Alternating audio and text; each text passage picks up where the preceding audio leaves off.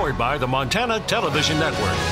This is the 530 News on Q2, Montana's news leader. Good evening and thanks for joining us tonight. I'm Russ Riesinger. Homes and property along the Yellowstone River near Shepherd are under a layer of floodwater. The river depth is running right below flood stage, making for fast currents, eroding banks, and dangerous conditions for watercraft and it's expected to rise even higher. The summer warm-up is melting snow in the mountains, sending massive amounts of water flowing into the Yellowstone and many other waterways. Q2's Mitch Legge was in Shepherd today to get a sense of the flooding. Every year, summer snowmelt swells rivers across Montana. Yellowstone County Disaster and Emergency Services knows of two homeowners on the Yellowstone trying to keep their houses dry. But many more are seeing flooding in low-lying areas of land. Couple of homes throughout the county that access to the home might have been cut off or restricted.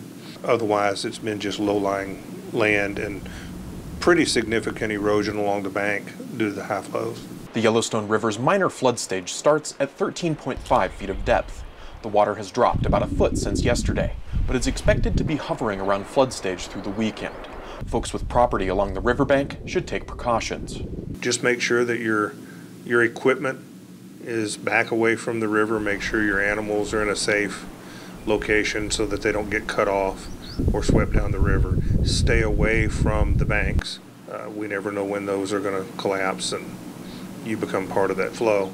With all of the lowland area flooding happening on the Yellowstone River right now, Yellowstone County Emergency Services personnel say that no one should be on the river this weekend, even if you have a hard-bottomed boat.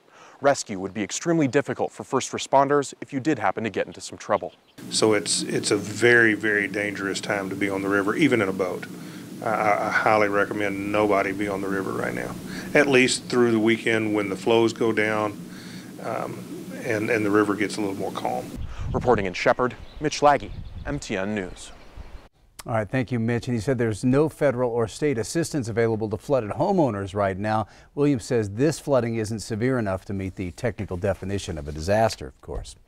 Well, Chief Forecaster Bob McGuire joining us now. Bob, fl uh, flooding starting to be a concern in several areas this evening. Yeah, let me show you what's happening. Of course, it all started with the warmer temperatures up on the higher elevations.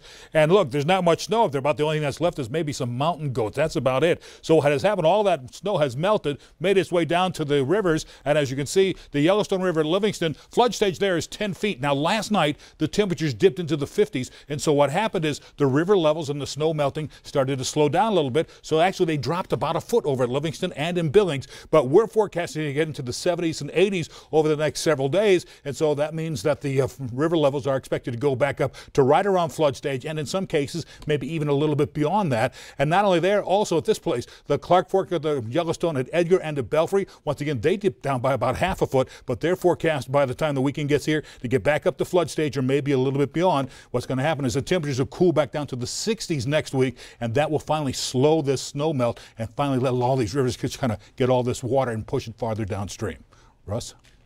All right, thank you, Bob. As the dust cleared last night and early this morning on Montana's primary election, the attention is already turning to November. Well, Tuesday set the general election stage for several high profile races in the state and some other not so high profile statewide contests. Here's MTN Chief Political Reporter Mike Dennison.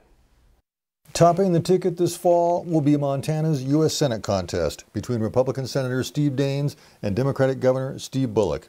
The two men had easy primary wins on Tuesday, and on Wednesday, Daines challenged Bullock to a series of four debates. Daines also has a new TV ad criticizing China for the coronavirus outbreak and calling for an immigration ban. And a Democratic group came out with its ad blasting Daines for voting in March for a so called slush fund to help big corporations recover from the pandemic. In the governor's race, it's Republican Congressman Greg Gianforte against Democrat Mike Cooney, the current lieutenant governor. You'll be hearing a lot from Gianforte about his business experience as he tries to turn the governor's office Republican for the first time in 16 years. My proposition to Montana is very simple. I'm a business guy. I've spent my life solving problems and creating good paying jobs here in Montana. That's the message we started with, and that's the one we're going to finish with. And Cooney says he'll emphasize a positive campaign, hitting familiar Democratic notes. We're going to continue to talk about the importance of health care, uh, having accessible uh, health care in Montana, affordable health care, affordable prescription drugs. We're going to be talking about what the need to continue to invest in our public education. In the battle for Montana's sole U.S. House seat, Democrat Kathleen Williams cruised to victory in her primary and says she'll offer a nonpartisan, pragmatic approach to problem solving. I've traveled the state 75,000 miles on my car, talking to Montanans in every corner from Plentywood to Darby and Troy to Broadus and everywhere in between about what they care about and how I can be of service. And this is really about hard work, leadership, and service, not toeing the party line. Her Republican opponent will be State Auditor Matt Rosendale, who won a six way primary Tuesday. Like Gianforte, he's talking about business experience needed to help restart the economy. We've had a lot of our businesses that have that have suffered, whether we're talking about Main Street or our farmers and ranchers. And my extensive business background just positions me perfectly to make sure that I can work with others to to revive our economy we have plenty of other wide open statewide races as well coming out of the primary. For Attorney General, Democrat Raph Graybill and attorney for Governor Bullock will face off against Republican Austin Knudsen, a former Speaker of the Montana House. For Secretary of State, Republican Christi Jacobsen, the current Deputy Secretary of State, emerged from a six person field and takes on Democratic State Senator Bryce Bennett of Missoula. In the race for State Auditor, Bozeman businessman Troy Downing won the GOP primary and will run against Democratic State Representative Shane Morigeau, a Missoula attorney. And for State Superintendent of Schools, it's a rematch between Republican incumbent Elsie Arntzen and Democrat Melissa Romano, who lost to Arntzen in a close race in 2016. We also had a primary for State Supreme Court, setting up a fall showdown between Justice Laurie McKinnon and challenger Mike Black, an attorney in Helena.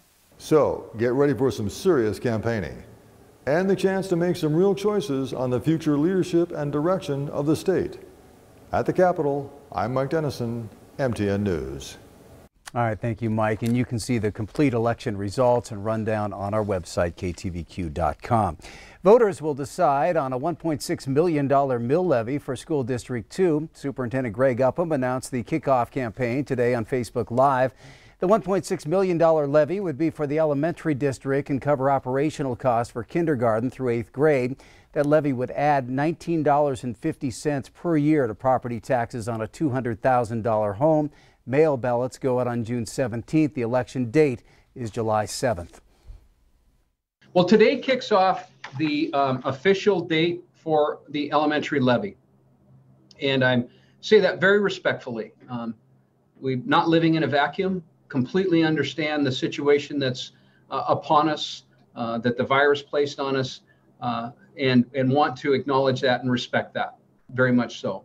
There really isn't a specific earmark for these funds other than operational costs. Upham says the elementary district had a $4.3 million deficit for this past school year. Montana state health officials reported two new COVID-19 cases today here in Yellowstone County. And in the last hour, we just learned that there are five new cases in Bighorn County. Two of the positive results in Bighorn County came as a result of those with symptoms, while three were asymptomatic and tested at one of the surveillance sites last week. Of those five cases, four are males, with two ranging between 50 and 59 and two over the age of 70. The two cases here in Yellowstone County, a woman in her 20s and a woman in her 60s. Yellowstone County now stands at 13 active cases and 102 total cases. The state total is now 525 with 464 of those recovered. Meanwhile, in Wyoming, the number there now stands at 703 total cases with an additional 212 cases considered probable. 17 people have also died there as a result of COVID 19. Well, there's more information about an apparent murder suicide that happened Sunday in Billings. Kyra Osman and Andrew Klontz were found dead inside a home in the 2100 block of Canyon Drive. Both victims were 34 years old. Each died of a single gunshot wound. Police said Klontz is believed to have died of a self inflicted gunshot wound. So far, authorities have yet to release any other information, including the relationship between Osman and Klontz. Uh, for a sixth straight day, peaceful protests continued on the Missoula Courthouse lawn This as a second degree murder charge is brought against former officer Derek Chauvin and new charges delivered against the other former officers involved in the arrest and death of George Floyd. MTN's Katie Miller spoke to the Missoula mayor, mayor today, who told us the protests are not a threat to public safety. Another challenging week uh, in the United States and in, uh, in many communities around the country. This is the sixth day in a row protesters are lining up in Missoula, and while there have been a few counter protesters, Missoula Mayor John Engen says he believes the demonstrations will remain nonviolent. Engen says there is a plan in place just in case violence erupts. Uh, there's just so much going on in the world today, it's really hard to know. In response to concerns that militant left wing groups will disrupt Missoula's peaceful protests, we're prepared, um, but we don't we don't perceive a threat today. He says he hopes these demonstrations will bring about change. Violence unprovoked against uh, any human being um, is not the business of a police force. In a city council meeting on Monday, Engen said the city shares a collective outrage and concern over police brutality. We can always get better, and we are going to do that. On Tuesday, protester Jay Matson told KPAX he does feel safe in Missoula, but knows what it's like to feel unsafe. When I turned 16, I got my, you know, learner's permit to drive, and two weeks after I got that is when I first almost got shot by the police. Matson says that instance made him feel like he has no control. You realize that your life is 100% out of your hands and in the hands of somebody else. Engen says the Missoula Police Department plans to update its use of force and implicit bias training. I want people of color to know that they're safe in the hands of Missoula's finest. Engen also made it clear that if any Missoula police officer violates policy, there are consequences. Our officers know that they're not above law and don't intend to be above the law. In Missoula, Katie Miller, MTN News. In a joint statement put out on Saturday, the city of Missoula and local law enforcement said they stand in solidarity against racism and acts of discrimination. All right, still ahead on tonight's 530 News. Time to go fishing as Montana Fly is back on track. Looking forward to the future. That's coming up in our rebound report. And in sports, Scott shows us what's next for college sports other than football. You're watching MTN News with Janelle Slade and Russ Riesinger. Storm Tracker weather with Bob McGuire. And sports with Scott Green. This is the 530 News on Q2, Montana's news leader.